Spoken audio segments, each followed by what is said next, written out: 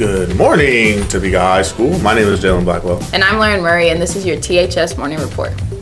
Satchel.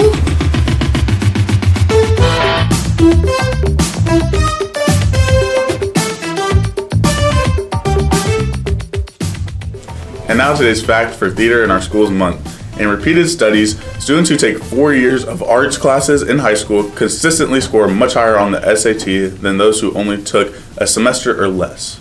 In our Music in Our Schools month fact from Triam, Greece has the longest national anthem in the world. This is their flag, by the way. It has 158 verses. Woo!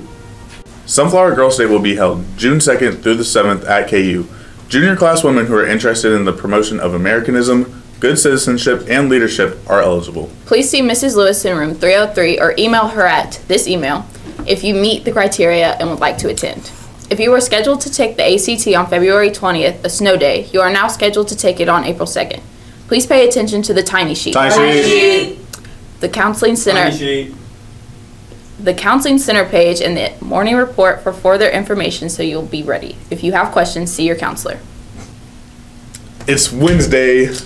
And you know what that means. Mm.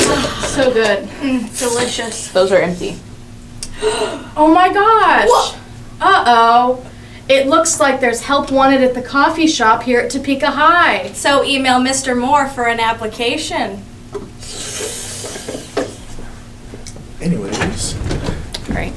back to lunch with old people. I'm so excited. I don't know who did today. Because old people are funny. Like Palma.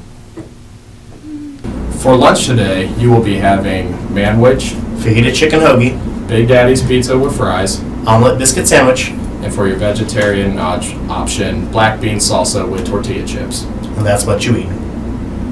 Auditions for the Awesome 80s Prom will be next Tuesday, March 26th, with callbacks on Wednesday the 27th in room 119. Come join the cast of this crazy and wild show. If you'll be looking for a job this summer, Shawnee County is hiring. Check out their job listings on their website. You can find the link in this morning report's description. And that's all we have for you today. Wait, guys. wait, wait. I just got news. Angelina Jolie is pregnant. No, she's not. I don't. She's kind of. Sincere, get off the set. All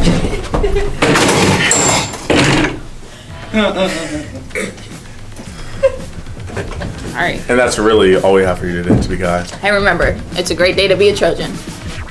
Should we check on Arissa? Yeah. we should. I'm good.